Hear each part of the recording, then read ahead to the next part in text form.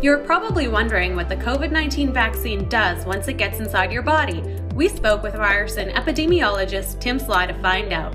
First, let's remember that the virus works by attaching itself to human cells using spike proteins. It's these spike proteins that give coronaviruses their name. Once attached, the virus enters the cell and makes thousands of copies of itself to continue the infection.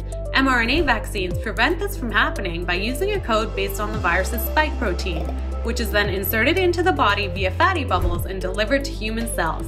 Once inside the cell, the mRNA is read by what's called a ribosome, which decodes the mRNA and begins to produce the spike protein, but not the virus itself.